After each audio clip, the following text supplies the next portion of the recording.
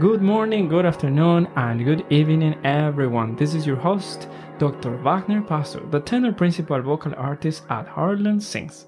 Heartland Sings is a non-profit organization located in Fort Wayne, Indiana. We offer several entertainment and educational programs such as concerts, voice, and piano lessons. Make sure to follow us on social media, and if you enjoy the show, please share it with your friends and family because we are here to encourage people passionate about the vocal arts. Heartland Sings inspires people of all ages and abilities through cultural and entertainment experiences, educational programs, and community outreach. Heartland Sings is changing lives through song. Heartland Sings inspira a personas de todas las edades y habilidades a través de experiencias culturales y de entretenimiento, con programas educativos y vinculación con la comunidad. Heartland Sings está cambiando vidas a través de la canción. Heartland Sings es una institución de interpretación artística que promueve la apreciación por las artes vocales para inspirar al público y artistas a través de experiencias excepcionales de cultura y entretenimiento con programas educativos y vinculación con la comunidad. Heartland Sings is a mission driven performing arts institution that fosters an appreciation for the vocal arts, inspiring audiences and artists through exceptional cultural and entertainment experiences, educational programs, and community outreach.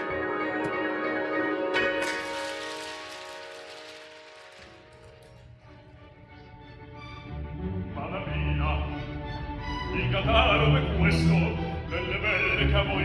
mio, un fatio, osservate, leggete con me, osservate.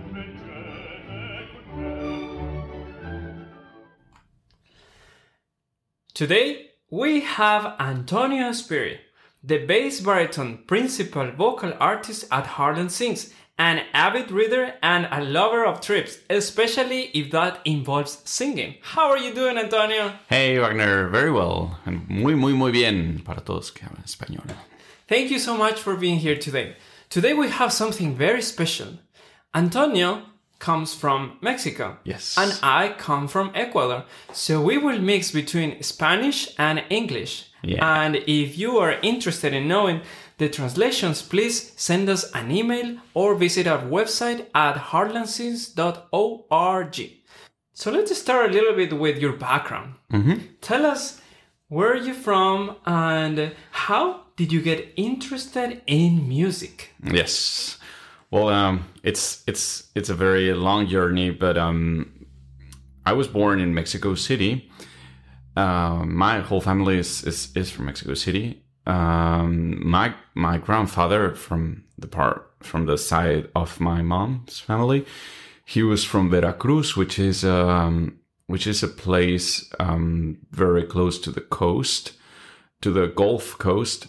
Um, and I mention this because sometimes people ask like about my last name because it's it sounds like Italian and like strange to be a Mexican, but but it it is because the the my last name Azpiri is actually uh, Spanish because my great great great great great grandfather came uh, in one of those ships um, like uh, around just before uh, the 20th century and the Azpiri family established uh, on Veracruz, which is this region of Mexico near near the coast.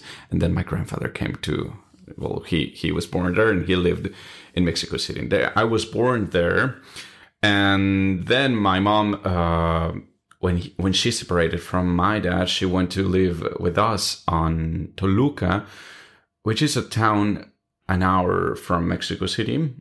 Uh, but since we were still uh, on communication and and and with my father when they were separated, uh, I would you know come and go to Mexico City very often because it's very it's actually near. And you could you could say that Toluca is actually kind of like a part of Mexico City. Um, but yeah, that's that's that's where I was born. I was raised in Toluca until I got into college uh, for my uh, my bachelor's in music degree, which was in the University of um, Universidad Nacional Autónoma de Mexico. That's the name in Spanish, uh, which is a university in Mexico City. And I don't know what what else did you ask me? That's great. That's amazing. Being in the city, but also being close to Toluca, which sounds very, very nice. Now, how did you get interested in music? Well, yeah, I think music has always been a part of my life. I mean, I remember since when I was five years old, my mom would. This is like a very, very nice memory. My mom would uh, at at almost uh, night, like oh, it was almost night. It was already night, but you know, with this very little dim light still, she would just lay on her bed listening to music, to all these uh, music from the 60s, 70s, or 80s, mostly 60s and 70s. And yeah, and I would stay with her, like lay with her and um, in bed just listening to the music. And she would explain to me all the lyrics, all the words, uh, because it was always uh, music in English, uh, because that's the, the, the music that she likes. And I remember I was so that that was such a very good memory and um so it it came so important that I started wanting to to sing and to be in the music and um, when I was in sixth grade of elementary school, which in Mexico is primaria, it's the last year of elementary school in Mexico. Uh, I got into this estudiantina, which is uh, I don't know if you have that on Ecuador, which is like a small group where we you play guitar and you sing and and and and I was I actually learned guitar on that year, and I was very good at it. I remember that, but I just uh, left it behind because I asked I asked my mom to if I could continue on music when I when I went to high school, um, just to just to clear things out. Uh, in Mexico, we have a, a, school system where you go for six uh, years of elementary school, then you go into some kind of secondary school, and then you got into the high school. And in that, when I went to that uh, secondary school, uh, that's when I asked my mom if I could practice or go to some lessons, and she um, she got me in um, music school, which was Bellas Artes School of Music in Toluca, and that's when I started learning violin lessons. That's, that's amazing. Mm-hmm. Um, in Ecuador, it's kind of similar because we have um, kindergarten. You start when you're like five years old, I think, and then you go six years to uh, primary school, and then we have another six years for high school, mm-hmm. and then you go to college. But now I I know because my nephew is now in in high school. I know he's going to graduate, and it's gonna be his sixth year. Mm-hmm. We have something like Estudiantina, but only in college, oh. and it's mostly singing and guitar. It's uh, interesting uh, that you mentioned that you grew up listening music in English. Mm-hmm. I grew up listening music in Spanish, but especially from Mexico yeah. and from Argentina. A lot of tangos, a lot of rancheras, boleros, and that's how I, I fall in love with music. Could you share how and when tu relación con Heartland Sings empezó? Okay, so now we're turning to Spanish. Pues um, hace dos años, más o menos, uh, encontré un anuncio. Existe, para aquellos que no, que desconocen esto, existe un sitio en internet para los cantantes y pianistas también, profesionales, en donde, que se llama Jab Tracker, eh, Young Artist Program Tracker. Eh, y ahí eh, yo estaba viendo oportunidades para, para para encontrar trabajo, para atender a eh, summer programs o cosas así. Y, encontré el anuncio de que Harlan Sings había oportunidades de trabajo. No sabía yo que era Harlan Sings. Yo dije, ah, bueno, parece muy bien. Me metí al sitio y escribí un correo pidiendo información para poder audicionar. Y recuerdo muy bien que la primera persona que me, que me contestó fue Lisa, Creo ahora entiendo que ella apenas empezaba a trabajar en Harlan. Eh, y, me contestó muy amable y me dijo que le iba a pasar mis, mis, em, toda mi información y mis videos al maestro Bob. Y a partir de ahí fue como una cosa de meses después cuando el maestro me, me contactó y me, me pidió una entrevista por Zoom. Y la hicimos y platicamos, no- nos reunimos, me pidió más materiales, me pidió otros videos porque quería escucharme más cantando pop. Y la verdad es que yo estaba así, de, es que ¿qué, qué puedo cantar? No tengo nada, todo lo que tengo es, es- sí sé cantar cosas eh, de, de música mexicana, pero, pero la verdad es que así como pop. Entonces se me ocurrió grabar un par de canciones con arreglos, de los arreglos con los que cantaba el coro que yo dirigía en ese momento y que eran pop. Y se lo mandé y me dijo que le había gustado mucho, pero por el momento eh, tenían que llenar el, era como urgente que llenaran el espacio que estaban pidiendo de, el puesto. Creo que ahí fue cuando David um, tomó el, el puesto y me dijo que esperara en un par de, bueno, como en medio año para que él me buscara de nuevo y, y ver este, cómo podría, cómo podríamos hacer que yo viniera a trabajar acá. Y así fue. A los seis meses me volvió a escribir si estaba interesado en, en, en trabajar de nuevo acá. Bueno, más bien en, en trabajar aquí. Y fue donde ya empezamos a, a cosechar la manera porque, como sabes, el tema de inmigración es, es, es- es muy complicado. eh, y es un proceso muy largo. Y ahí, ahí fue donde ya pude venir a una audición formal aquí, donde ya los conocí, te conocí, etcétera. Y lo demás es historia, como dicen en las películas. Sí, afortunadamente yo conocí la empresa de la misma forma, por Yap Tracker. Y estaba en un viaje a Nueva York con mi esposa, con Andrea. Y recibí la llamada del maestro Nats, porque yo nunca había escuchado sobre Harlan Sings, pero me contó toda su historia y me contó dónde estamos y me, me, me atrajo bastante.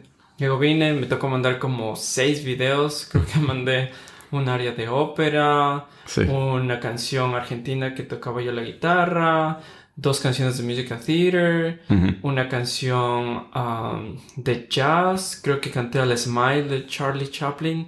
¿Te acuerdas tú que mandaste?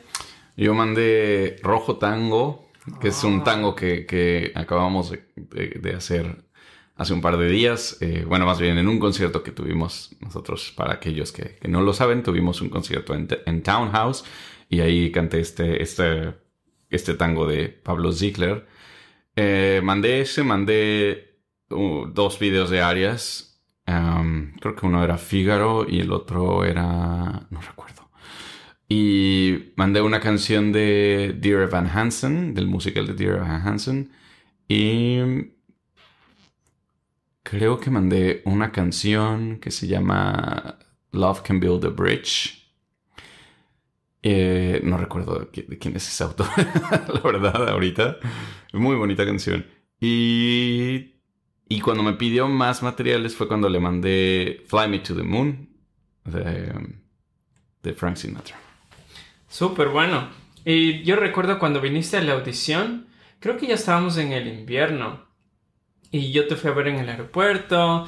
Y lo que me quedó en la cabeza fue la canción de Elvis Presley que cantaste para la audición. Ah, eh, ¿cuál fue? ¿Cuál fue?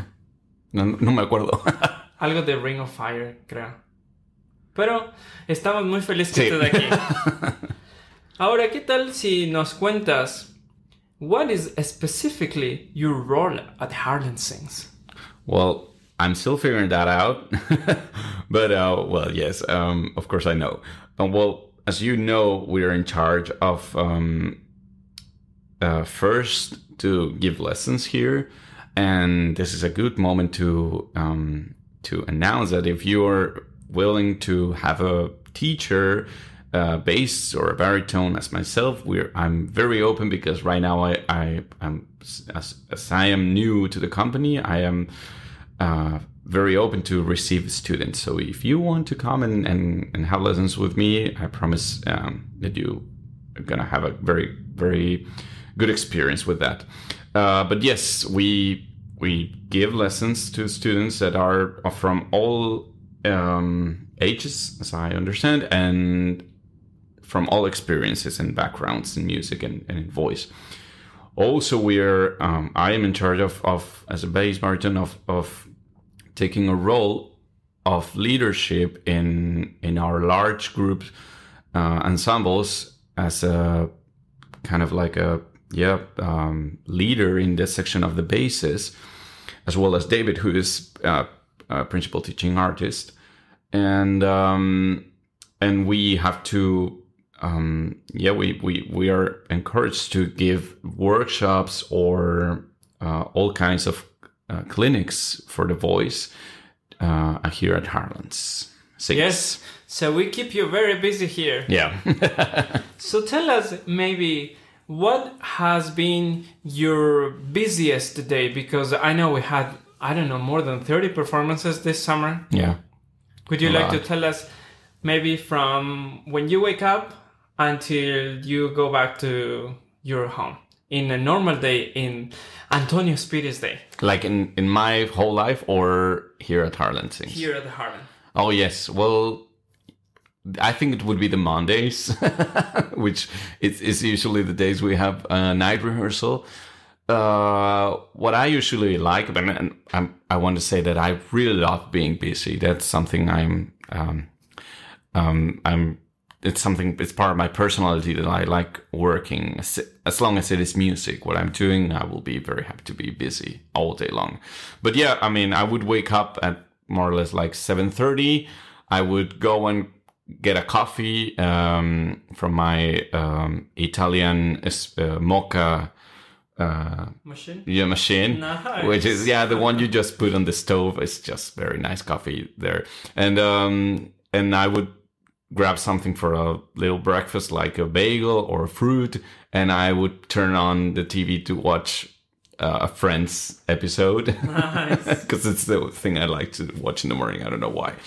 And yeah, I would just relax myself on that time of the day, like very early time of the day, and just go into the shower and and prepare myself to come to to Heartland Sings. If we would have a rehearsal at 10 a.m. as we usually do, I would uh, either warm up a little at my house or at, at here here at Heartland's if, if I come with uh, enough time to do it. And then we would have rehearsals, and then I would s- spend some time to either read or work on stuff um, that I like working for my own, like academic stuff. Not not because I do have to do it, but be, just because I like doing it. Um, like writing essays or um, yeah, whatever I'm into at the moment. And um, later, uh, if I have like right now, if I would have the time, I would go to the gym to work out a little, and then an extra rehearsal. That would be a very busy day. And then on Mondays, usually we have the long rehearsal at night. Yeah, but I love I love those rehearsals. By the way, Yeah, it's it's nice that we have this freedom, quote unquote, but you know, for all of the people that are out there, you know how difficult is to be a musician mm-hmm. and how much discipline we need. And this is something that I learned when I was in Ecuador because when I was in Ecuador, I worked for the symphony for a few years and for two professional choirs. And we were supposed to be in the office, mm-hmm. in the practice from like 9 to noon or 9 to 1 p.m. And the rest of the day, we were quote unquote free. yeah, But the rest of the day was you have to learn so much music. yeah, You have to, of course, eat because we're humans, we need to eat. So Sometimes we forget to do it. Yes. So if you spend four or five hours of your everyday rehearsing with a group, then you need at least half of that time or more, depending on your musicianship, working on the pieces that are more challenging. Like Yep. in my case, I have to work, if we have two hours rehearsal, I have to spend at least four hours on my own time yeah, because not everybody you know plays the guitar or plays the um, the piano. Piano. So it's supposed that we have some freedom, but it's relative freedom. yeah. What in my in my case, um, what helps me for people out there who are in the same situation is that you have to know how to use your time. So, for example, if I have a um, a very hard uh, piece that I must work on, um, what I would start the the way I would start is just like, for example, if I had the time to get a coffee or or at my lunch break, I would just go and study the music on my, my like on my head. I don't know how to say it in English, like reading the music but not not singing it actually, just reading it inside of my my head, which you would be very surprised how much you like how good can you be in that way I, sometimes in the in the process of of reading music uh the fact of of making it making it sound out, out loud uh, can interfere sometime in the in the process of reading it. So what I what helps me is just like trying to read it like on a first sight reading, but only in my mind. And that's something I would do like while I'm taking lunch or something like, like trying to uh, yeah spare the time and make it uh, easier for me. And then the like the next step for me would be just to go to the piano as I have some very, very, very uh, small piano skills uh, because I had uh, piano lessons on when I was in in uh, taking my bachelor's degree. How do you say like grad grad school Your or undergrad. undergrad school? Yeah. Um, Say bachelor. okay. It's yeah. the same thing. Yeah. Oh well, I, I had that privilege, and I really used it. I was ba- I was very bad. I had to mention my teacher, my piano my piano teacher was uh, very nice with me, but she was very frustrated at the same time because I would never do my homework, well, my practice time. But but later, I I really um, to put myself together and and and really practice a lot. So yeah, um, when I'm going through some piece that is hard for me, I would just go and try to play it on the piano with if if it has the piano accompaniment. If it's like too technically difficult for me, I would just uh, do whatever I can, like the harmony or or whatever I can do, but but not like at any time I would play.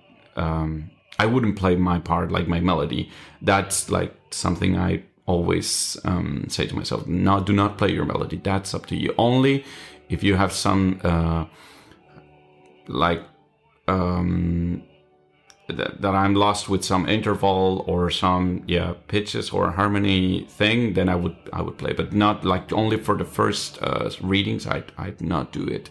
So in that case, like the it's it only takes like a two or three days to uh, do the hard work. Then after that, it's very easy for me to to just I I do not have to to practice that much. Um, so I can get the music because I use the rehearsals to do it. But I do, I did uh, like the hard work before, like a, in a very three days kind of um, uh, of just practicing. Here's like they said here, the wood shedding part of the Yeah, exactly. process. Mhm. So yes, that's what we do at Heartland Sings, and Antonio Azpiri just explained exactly what he does at Heartland Sings. Yeah. Now, could you like to share maybe tres o dos de tus memorias más memorables que has tenido en Heartland Sings o fuera de Heartland Sings que están relacionadas a la música? Sí. am, creo que empezaré de, de atrás. Más bien, sí, de lo más reciente a lo más em, antiguo. Eh, ah, recientemente cantamos aquí en Harlan Sings un, concierto llamado Splashes of Color eh, como parte de nuestro Vocal Arts Conference y hicimos una obra que yo no conocía antes que se llama Mass in Blue que es una misa eh, para aquellos que no saben en la música clásica o académica eh, existe una forma musical que se llama misa, que contiene los cinco cantos o rezos ordinarios de la, de la misa tradicional cristiana, que son el Kyrie o Señor de piedad, Gloria, Credo y eh, Santo y Cordero de Dios. Y esta misa eh, fue muy especial para mí para mí especialmente porque es una misa escrita con, con como en, en, una forma jazzística, sin embargo es, es clásica al mismo tiempo porque está escrito con una partitura, o sea, todo está escrito en la partitura y como saben el jazz es, se trata más de estándares y de, y de cierta libertad. Eh, que, que, que, como lo tenemos en la música clásica, que todo ya está escrito. Pero esta, esta misa fue muy especial porque eh, en el credo, que era un momento muy, muy sublime, de mucha profundidad, recuerdo que yo era nuevo aquí, bueno, todavía soy nuevo, pero ahí era muy, muy, muy, muy nuevo. Y estaba pasando por momentos emocionales un poco nuevos para mí también, de haberme mudado de país, de haber venido por primera vez a este lugar. Eh, y, esa música para mí fue el mejor bálsamo y la mejor manera de soltar muchas emociones que tenía. Entonces, esto, estando en Heartland Sings, haber cantado Mass in Blue de Will Todd fue definitivamente memorable. Previo a eso, um, hace, hace un año más o menos dirigí una ópera por primera vez en mi vida. Yo, mi única experiencia como director fue cuando dirigí por cuatro años un coro amateur en México llamado Coro Gay, Ciudad de México. Y era un coro, es un coro comunitario, todavía sigue, ahora tiene otro director, que, que era un trabajo, además de otros trabajos que hacía yo en México como cantante, y me enseñó mucho de, liderazgo y de, y, de, y de dirección. Y después de un tiempo surgió la idea de realizar una ópera contemporánea llamada Stonewall de Ian Bell, que fue estrenada en el 2019, eh, que habla sobre la historia del, movimiento LGBT, eh, de por qué se hace la, la Semana del Orgullo en junio, porque ahí empezó todo en el 69, en un bar llamado Stonewall en, en Nueva York.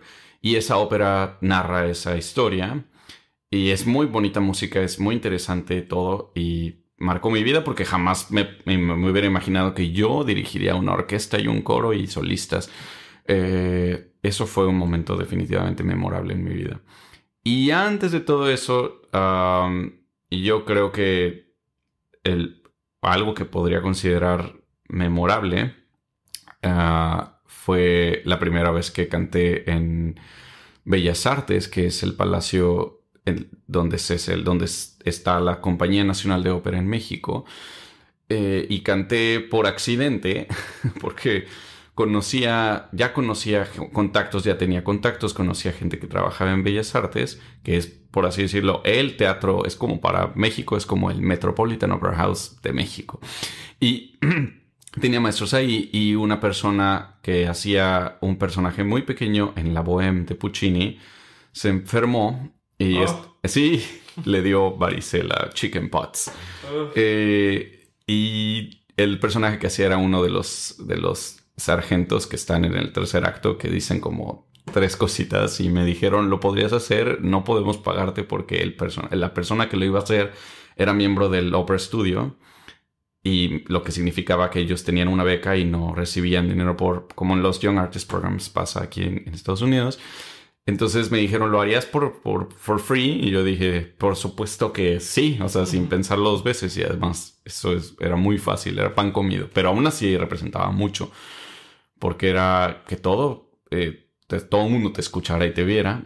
Y, y, gracias a que accedí a eso, se estableció una relación profesional, porque entonces me dijeron, después te compensaremos invitándote a una, a una, a una producción. Y y a partir de ahí ya pude hacer otras producciones. Entonces eso fue así como, nunca creí que hubiera pasado de esa manera.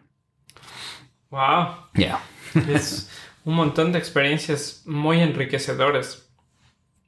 Yo recuerdo que el Splashes of Color también me movió bastante, especialmente porque hay bastantes misas en, en, español, en, en inglés, en latín en francés, en, italiano, en alemán, en ruso.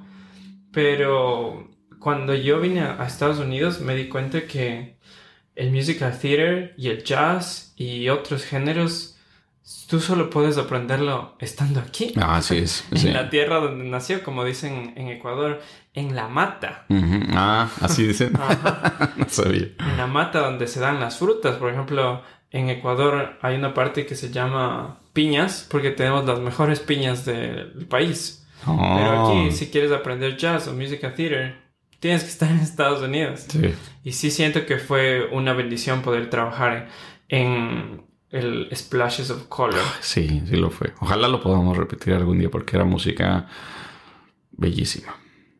Sí. Y no sabía que habías cantado en, en el Teatro de Bellas Artes. Mi sueño antes de venir a Estados Unidos ¿En fue irme a estudiar allá. Ay, Pero la vida sabe cómo, cómo pasa y como dicen aquí, God works in mysterious ways. yes. Uno nunca sabe a dónde te va a llevar la vida. Ahora, ¿qué tal si nos cuentas why is it important to support and promote the arts for you? Well, we were just um, having a discussion recently about the import the importance of art. I think now um, more than any in, at, like like right now in this specific point in time, um, we're living on a situations where arts are on the on a dangerous position of being just turned into entertainment. And I think people nowadays are looking for entertainment and forget that arts are is beyond that. Although we all need entertainment. I love going to the movies. I love reading uh, like basic stuff sometimes, and um, also I need to feed on art because art gives us a perspective of other people's lives, emotions, um, or complicated or easy situations that they're living. So that way, I think art is it it's it's something I like to say it's a cultural phenomenon. It's something that makes people gather around without knowing it in a specific point in time and space. And by identifying themselves to something that they just perceive that is beautiful. Because art, I think is the, the, the art is is is is about that. It's about beauty. And you find you find beauty in many things. You can find beauty in perfection. You can find beauty in grief. You can find beauty in joy, in sadness, in many kinds of, of, of elements. And I think that when you perceive that beauty, you transform it to something that just becomes unique and that transcends in lives in life and in death. So I think art are a necessity on our society and and it it doesn't have to be entertainment but i know that we have to also be open to the entertaining situation so i i what i'm trying to say is that i would i think um people need to understand that artists are on a very um, dangerous position of just losing it because of what is surrounding us, which is the fast food of everything, like like the fast entertainment, the fast the fast everything. We we nowadays we wake up and we want all to be fast and delivered in a very easy situation, right? Like and and and it's and it's getting worse. So I think we should be intelligent and smart and try to keep up with that and to uh, try to understand that that is also a necessity for the for now for like as an artist like entertainment and and the the fact of people want to to have things faster is also a necessity so i think we should have a balance in that and try to to compensate everything Yes, yes. Thank you for sharing, Antonio. It's like in something that comes to my mind when we think about fast or slow. I feel about I feel like when you cook something, you can have a sandwich and it's healthy and it's fine. You can have it your tomatoes or your your cheese or your kind of meat, and it would take you I don't know five minutes, ten minutes, and it will fill you up. But if you take the time Mm-hmm. to marinate the kind of meat that you like, to bake the potatoes that you like, to make an amazing salad, Yeah. it will be more rewarding. Yeah. At the end of the day, you can choose between a sandwich or a whole meal Yeah. that will inspire you to keep on your day instead of just doing a check mark about, yes, I had to eat, so I did it. It's the same thing with art. Uh, there are people that we don't want to repeat things and we don't want to do it mechanically. But as you said, society is evolving so fast and we want things so fast that sometimes we just get to the surface of things mm-hmm. and we cannot go deep into why do I do this? Mm-hmm. And at the end of the day, if the greatest of the greatest have done what we are still performing, like Mozart, Beethoven, well taught, it's because they took the time to Yes. communicate something. And and you're and you're and you're touching a, a, uh, a point that is so important that I that I missed, which is um, sometimes on this very fast life we start feeling unsatisfied of everything. And I read once that the only thing, like the real only thing that will help you to get satisfaction will be gratitude. And sometimes we forget to be grateful.